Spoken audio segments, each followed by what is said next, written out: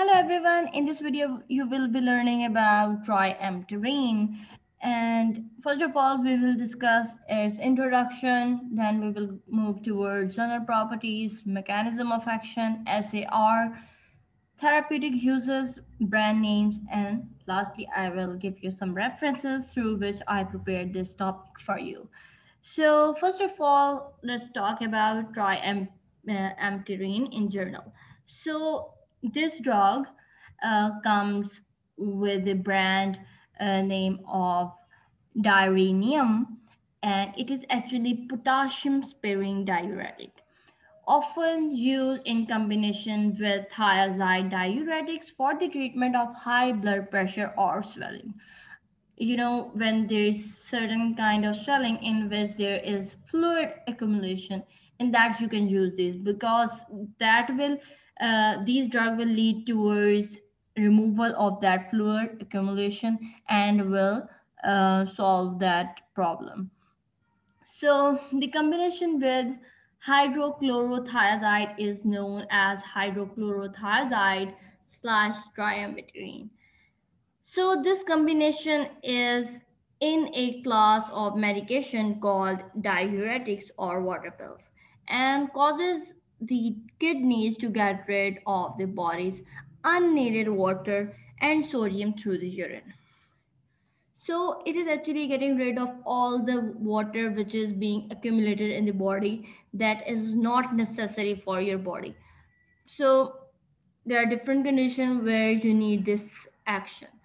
So what is the therapeutic class of this drug? It is actually antihypertensive agent and pharmacological class of this agent is potassium sparing diuretic. That these agent this agent will be uh, retaining potassium in the body and thereby excreting uh, excreting out uh, sodium as well as water from the body. And chemical class is pteridine uh, derivative.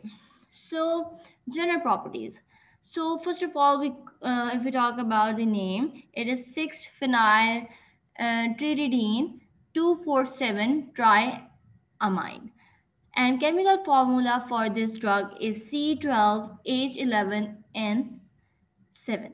And melting, melting point of this agent is 316 Celsius. Solubility is very slightly soluble in water and soluble in formic acid. Molecular weight of this drug is 253.26 gram per mole. It is odorless and jelly powder crystalline solid. Now, if we talk about mechanism of action of this drug, this drug is pteridine derivative with potassium sparing diuretic property that we have discussed previously.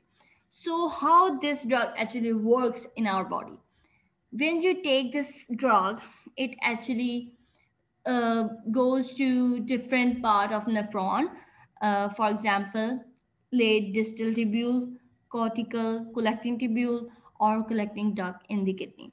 And there it will actually block sodium channels in the luminal membrane of principal cells. So in the diagram over here, you can see principal cells are being shown. So on the luminal side, that is this side, over here it is written that this side is luminal side. So on this side, there is a sodium channel. You can see over here, this is the sodium channel and sodium is going inward into the principal cell by this channel. So this drug will actually inhibit this channel. This is actually sodium channel inhibitor. Okay. This reversible inhibition of the electrogenic sodium transport decrease the luminal negative trans epithelial potential difference, thus reducing the driving force for potassium movement into the tubular lumen resulting in the inhibition of sodium reabsorption in exchange for potassium and hydrogen.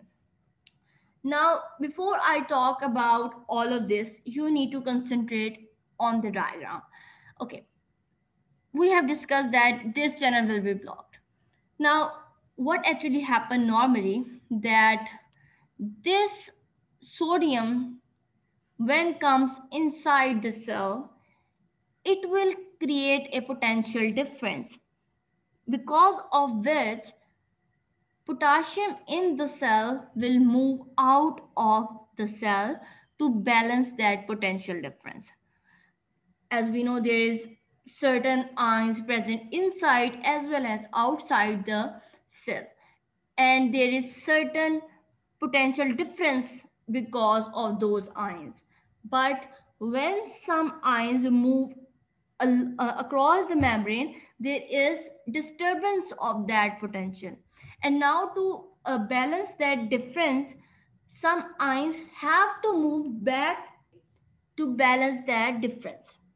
So in this diagram over here in the principal cell, when sodium is moving into the cell, it is creating potential difference. It is disturbing the normal uh, potential difference because uh, positive ions are moving into the cell. So it is creating more negative outside the uh, outside the membrane in the lumen. In the luminal side, there will be more negative as compared to uh, before it moved into the cell. So now to balance this thing, potassium moves out uh, of the principal cell and it cancel out that difference. But what actually happen?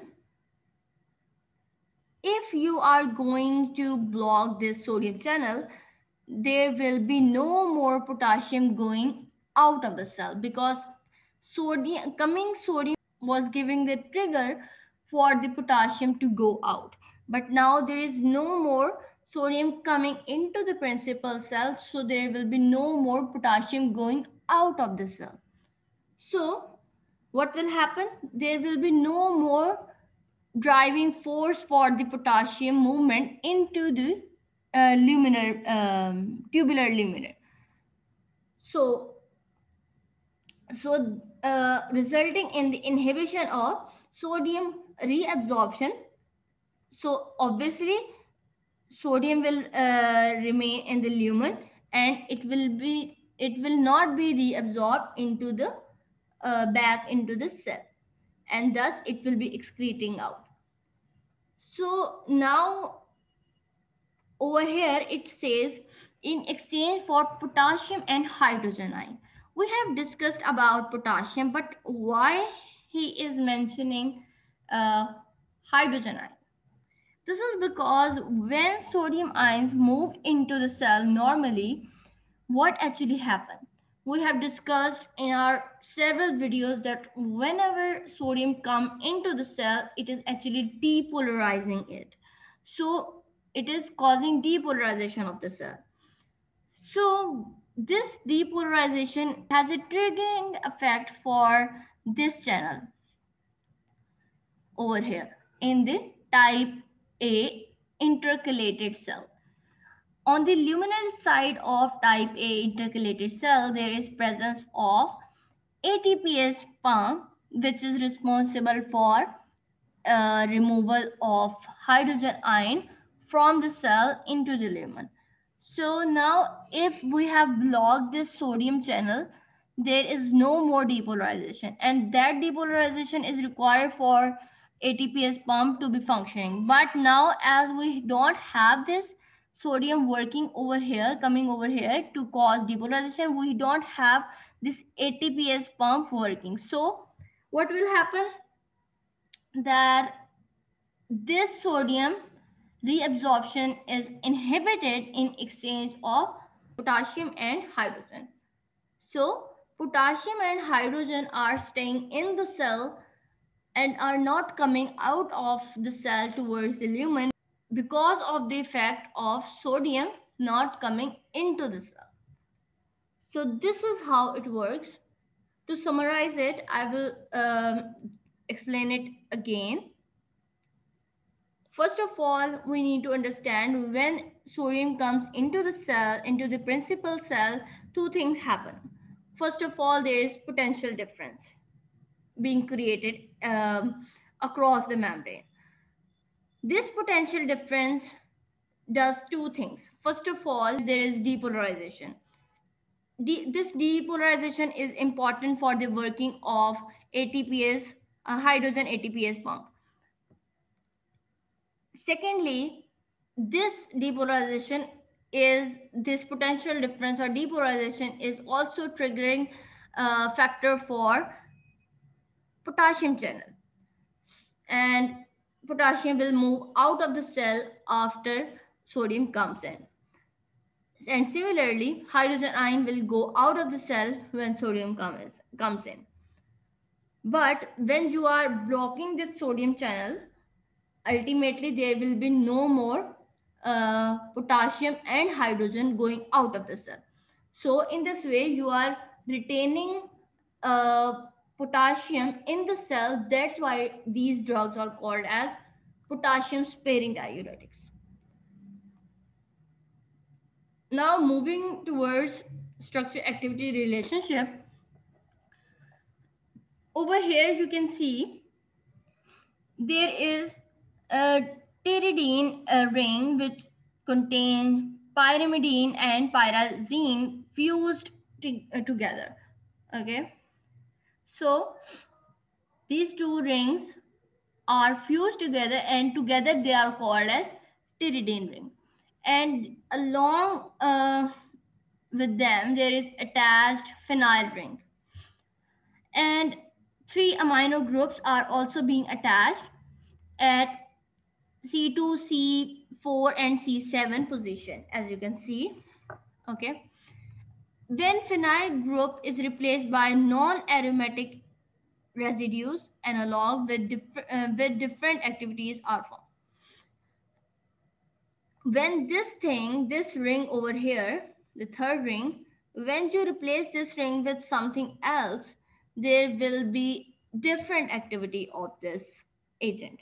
If you replace this phenyl group with 6 alkyl analog, those diuretics are active. If that uh, analog is 6N butyl uh, analog that has good activity. But if you replace it with 6 isopropyl and 6 cyclohexanyl, they will have only modest activity. If you replace it with benzyl analog, they are active and benzyl analog and 6-alkyl analog suggest that phenyl group at 6 position, position does not enhance diuretic activity because of electronic interaction with pteridine ring. Because of electronic interaction with pteridine ring, uh, we know that phenyl group is not responsible for enhancing the di diuretic activity. So now if we talk about the therapeutic uses of this drug. This drug is used for treatment of edema as I have mentioned previously that in swelling there is uh, in certain kind of uh, swelling where there is fluid accumulation that is called as edema. So in edema, uh, which is associated with uh, congestive heart failure or cirrhosis of liver, um, nephrotic syndrome. In those kind of conditions, you can use this. Also in steroid-induced edema, idiopathic edema, which has no known cause, and edema due to secondary hyperaldosteronism, in which there is hyperactivity of aldosterone. In that condition, there there is presence of edema. So in that, uh, you can also uh, use this agent. This agent is also used with another agent that is called as hydrochlorothiazide and that combined uh, can be used for the management of hypertension. Now we have different formulations available for this drug. First of all, triamterene itself uh, has a brand name called as Dyrenium, which is uh, manufactured by Wellspring, and it is uh, in capsules and they comes in two strengths that is 50 uh, milligram or 100 milligram. And now if we talk about the second uh, formulation that we have over here that is triamterene and hydrochlorothiazide. So now these two are combined together for the treatment of hypertension so now the first agent is uh, potassium sparing diuretic, whereas second one is thiazide diuretic. Now both of these combined um, make a formulation and that is called as triamtericides. It is prepared by GSK and it comes with the name brand name of uh, Dyazide.